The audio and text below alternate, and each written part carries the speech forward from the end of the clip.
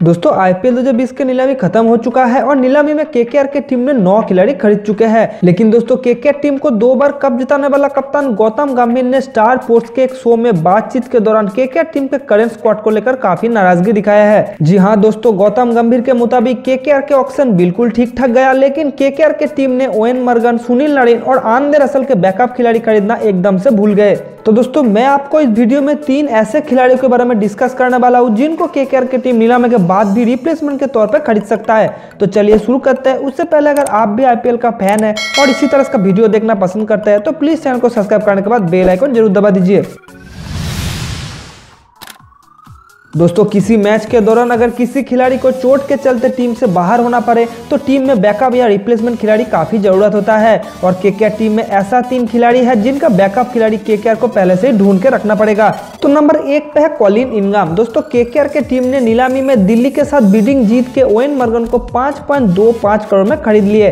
और on Morgan के आने के बाद के टीम के मिडिल ऑर्डर काफ़ी मज़बूत हो जाने के साथ साथ ऐसा लग रहा है की प्लेइंग इलेवन में आंध्र रसन को आराम से खेलने के लिए थोड़ा टाइम भी मिल जाएगा। लेकिन दोस्तों, सोचने के बाद अगर ओएन मर्गन चोटिल हो गए तो उनके जगह कौन खेलने वाला है? तो ऐसे में दोस्तों के के टीम को कॉलिन इनगम के पीछे जाना चाहिए, क्योंकि दिल्ली के टीम ने कॉलिन इनगम को इस साल छोड़ चुके हैं और नीलामी में भी अनसोल्ड रह चुके हैं। पर यह खिलाड़ी काफ़ी अच्छा मिडिल ऑर्डर बल्लेबाज है। कॉलिन इनगम ने दो टी मैच खेल चुके हैं और स्ट्राइक रेट करीब 140 के आसपास है, जो ओएन मर्गन से काफ़ी मिलता जुलता है। और क्योंकि कॉलिन इनगम का बेस प्राइस सिर्फ़ पचास लाख रुपए है तो के टीम को उनके लिए ज़्यादा पैसा भी नहीं खर्च करना पड़ेगा। उसके बाद नंबर दो पे है एडम जम्पा। दोस्तों के के टीम ने इस साल बॉलिंग डिपार्टमेंट काफ़ी स्ट्रॉन्ग कर चुके हैं और टीम में बहुत सारे खिलाड़ी मौजूद भी है, लेकिन सुनील नारायण के बैकअप पे तौर पे कोई खिलाड़ी इस समय मौजूद नहीं है। पीयूष चावला को छोड़ने के बाद के ने वरुण चक्रवर्ती को रिप्लेसमेंट के तौर पर खरीद तो लिए है, लेकिन उनके पास उतना एक्सपीरियंस मौजूद ना होने के कारण के के पास क्वालिटी लेग स्पिन गेंदबाज की काफ़ी कमी अभी भी है।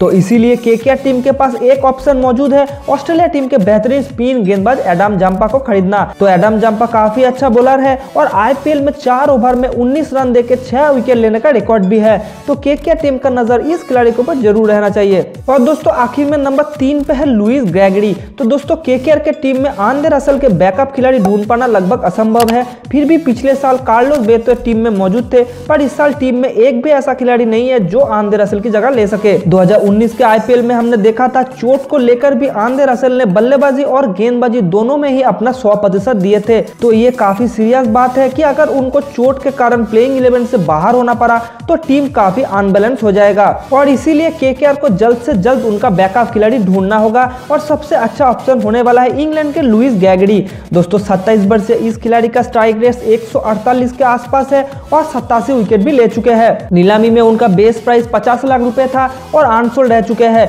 पर यह खिलाड़ी आंध्र का काफ़ी अच्छा बैकअप हो सकता है। तो दोस्तों, ये थे तीन प्लेयर जिनको बैकअप के लिए के टीम को नज़र में रखना चाहिए। आप नीचे कमेंट करके बताइए, आपके हिसाब से इन तीनों के लिए अच्छा बैकअप खिलाड़ी कौन हो सकता है? वीडियो पसंद आए तो एक लाइक मार दीजिए। मिलते हैं आपसे नेक्स्ट वीडियो में। तब तक के लिए बाय एंड टेक केयर